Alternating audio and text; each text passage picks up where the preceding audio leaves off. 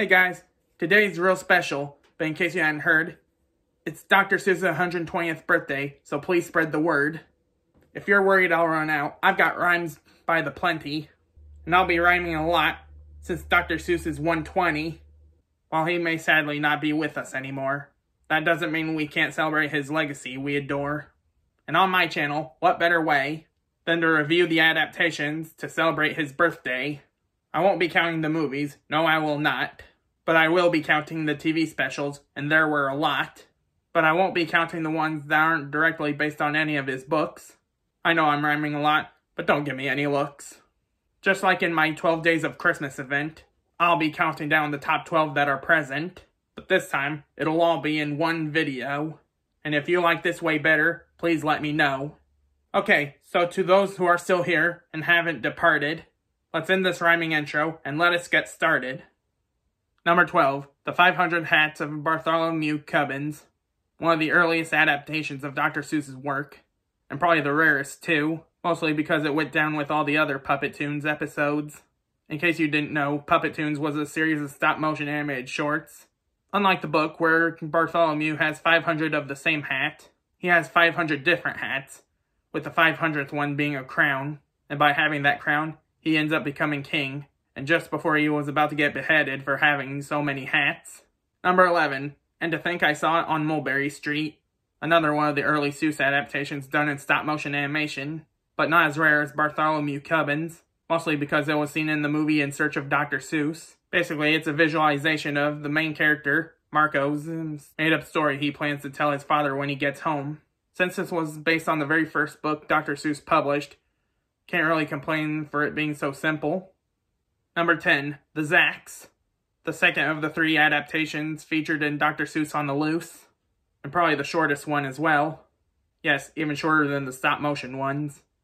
It focuses on a Zax going south and a Zax going north, and when they bump into each other, they both refuse to move out of the way, or going east or west, as they prefer to put it. This results in them standing the test of time, literally, because they never die, and they just stand there like statues for the rest of their lives as time goes on. What kind of message was Seuss trying to give from this story? I guess is that the story was trying to teach kids not to waste time with things that aren't worth their time, which is pretty much what both Zaxes did. Waste their time. Did those Zax have any life other than going north or south? Didn't they have any family who was looking for them? Who knows, but it still has more story than the previous two. Number 9, The Sneetches. The first of the three adaptations featured in the aforementioned Dr. Seuss on the Loose. Wanna know how I feel about this story personally? It's freaking terrible! The Starbelly Sneetches say that they're the best Sneetches on the beaches, but they're actually the worst. Doing whatever they can to make themselves better than the plain-bellied Sneetches. Being relentlessly cruel to them. Honestly, I wish the star removal machine was a Sneetch cooking machine. Because the plain-belly Sneetches shouldn't have to live with such birds. Yes, I know they changed their ways at the end of the story, with the lesson of treating others equally. But still, there was no excuse. Honestly, I would have rather had an adaptation of Yertle the Turtle, because at least the main antagonists of the story actually got what they deserved at the end of the story. Meanwhile, the Starbelly Sneetches got away scot-free. Number 8. Horton Hatches the Egg. The animated debut of Seuss's favorite elephant, and the first adaptation done by Warner Brothers, whether it be through them directly or by Chuck Jones. It was created during the Bob Clampett era of Looney Tunes, and it was released as part of the Merrie Melodies series. Most of the changes from the original story were merely comical, such as the hunters aiming at Horton's butt rather than his heart. Mayzie doing cartoony things such as making herself more attractive to get Horton's attention or breaking the fourth wall. They even add a fish that looks like Peter Lorre. Honestly, Horton should just did this to them when they aimed at his butt.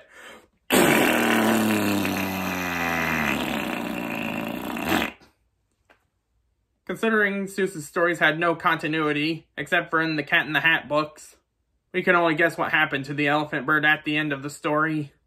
Number 7. Daisy Head Mayzie. The very last adaptation of Seuss's work, and the only one done with digital ink and paint. It was produced by Hanna-Barbera Studios, again fitting because Warner Brothers started the hand-drawn animated Dr. Seuss adaptations.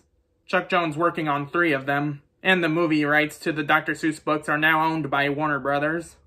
The story is about a young girl named Mayzie, who somehow grows a daisy on her head and ends up becoming famous. Considering the story was published after Dr. Seuss's passing, it's surprising that they didn't make any other adaptations of Seuss's posthumous work. Number 6, Green Eggs and Ham, the third adaptation of Dr. Seuss on the Loose. It's pretty much a word-for-word adaptation of the original story, but slightly altered in some way to help fit within the time frame of Dr. Seuss on the Loose, and to help squeeze in the songs that were shoehorned into the special. But of all three of the adaptations that were featured in Dr. Seuss on the Loose, Green Eggs and Ham was the best, the Zax was too short, and the Sneetches, well, the Sneetches can suck green eggs. Number 5, The Cat in the Hat, the third primetime adaptation of Seuss's work.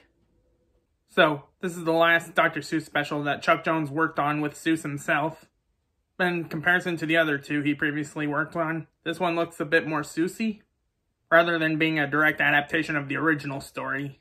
They decided to make a few changes that remove the ball balancing trick, has bigger words than the original story, and a different way the house becomes messy. Still, more enjoyable than the live action film. Though I should point out that the kids seem to side with the cat more than they do in the book. Though, to be fair, the cat's antics are far less messy than they were in the book. Number 4, The Butter Battle book. The one Dr. Seuss adaptation that was the most faithful to the book as possible. The special was so good, I would have ranked it higher, but but I ranked it at number 4 because uh, but I ranked it at number 4 because of the cliffhanger hang I ranked it at number 4 because of the cliffhanger ending that may have scared a lot of kids when they watched it. This ending wrenched my gears for years, I'm not intended, because there was no clear answer to what would happen. Though Seuss's intention was to replicate real life, basically how not everything can be resolved easily. I'll admit, real life sucks sometimes. It wasn't until the TV series adaptation of Green Eggs and Ham where they changed the story enough to make it their own. But still, it gave me some closure on how the story should have ended. Peacefully. Number 3. The Lorax. This adaptation was the second darkest Dr. Seuss adaptation, next to the Butter Battle book, of course.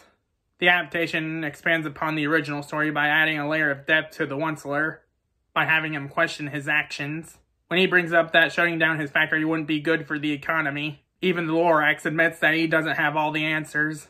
The Onceler even seemed like he was about to do something to rectify his actions, but then he got a call uh, that basically pushed him to bigger his factory. Heck, they even gave an explanation to why they didn't grow more trees to begin with. Basically, it's because of how long it takes for a Truffula tree to grow. About 21 years, almost.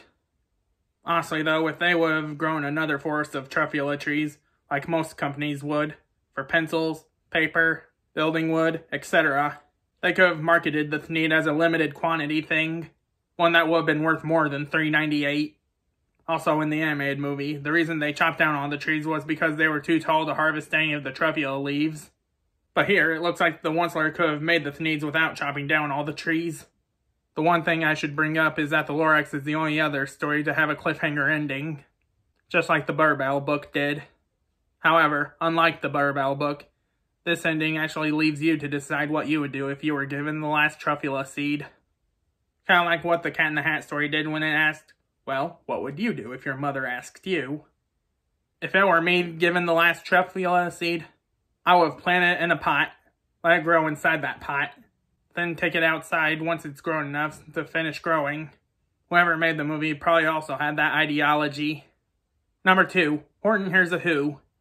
The second Seuss adaptation worked on by Chuck Jones.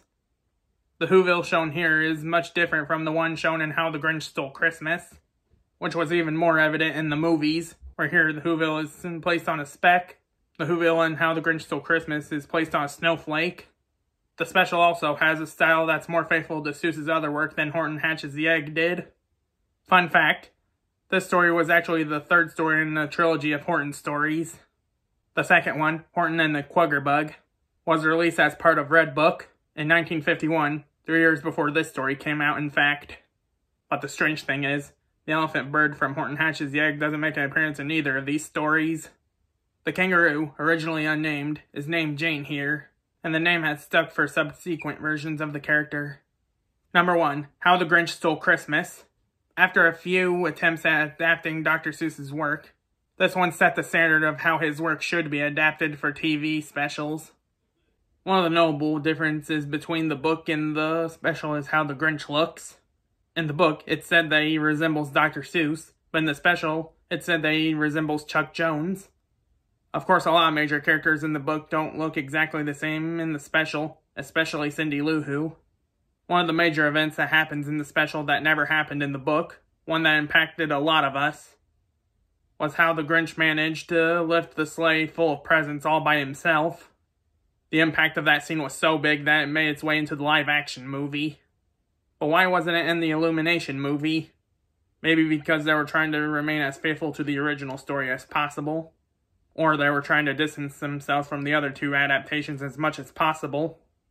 This special holds a place in all of our hearts as one of the best Christmas specials of all time, but it's also one of the best Dr. Seuss adaptations of all time.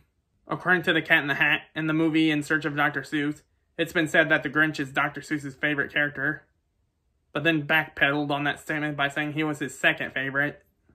Probably out of vanity or something. I hope you all enjoyed this 12 in 1 review. And if you all like this video, please let me know if you do. From One Fish, Two Fish, and Green Eggs and Ham. From Grinch, Cat in the Hat, Lorax, Horton, Sam I Am. Dr. Seuss gave us a childhood that we'll never forget. With rhymes and characters, knowing that we won't regret. Having his legacy involved in our youth. From the moment we were born, before our very first tooth. To end this video on a good note, here's a fabulous Dr. Seuss quote. From there to here, from here to there, funny things are everywhere.